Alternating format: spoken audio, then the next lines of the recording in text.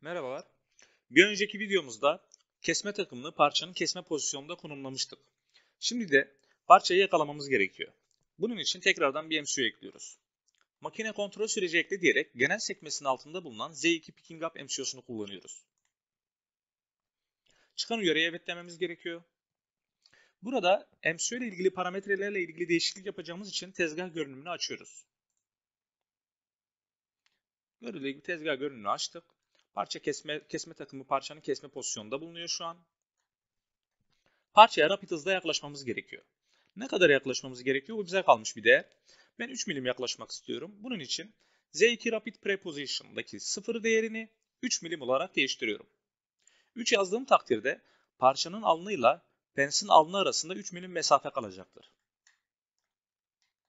Evet şimdi de parçayı yakalamam gerekiyor.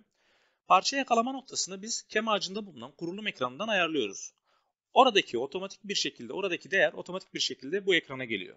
Setup'a bastığımız takdirde kurulum ekranındaki yakalama noktasından yakalayacaktır. 2000 ilerlemeyle yakalayacaktır. Ve o esnada spindle dönüş devrimiz 2500, spindle dönüş yönümüz saat yönünde, içten su verme kapalı. Evet görüldüğü gibi parçamızı yakaladık. MCO'muzu hesaplattırıp çıkış yapıyoruz. Evet bu videomuzda bu kadar. Bir sonraki videoda görüşmek üzere.